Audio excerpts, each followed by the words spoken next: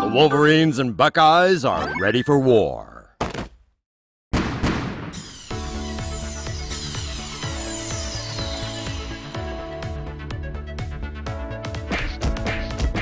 The biggest game in college football is all set to take place at the Horseshoe Down in Columbus on Saturday.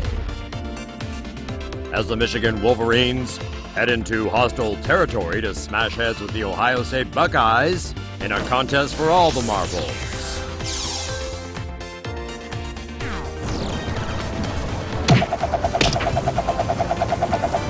OSU has JT Barrett, who can punish you in the air or put it on the ground. In the backfield, the Buckeyes will be looking to get the ball into the hands of Mike Weber.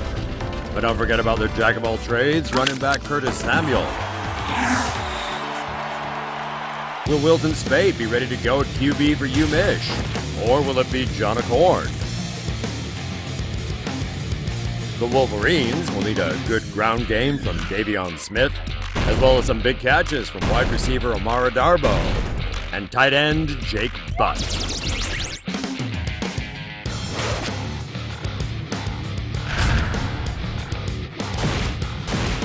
Expect Michigan's do it all man, Jabrill Peppers, to be all over the field on both sides of the ball.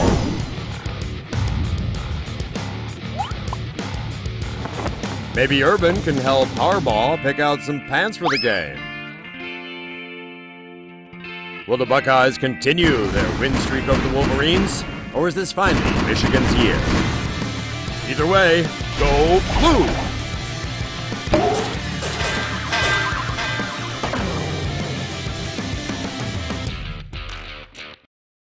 See a story that really should be animated? Suggest stories to TomoNews now.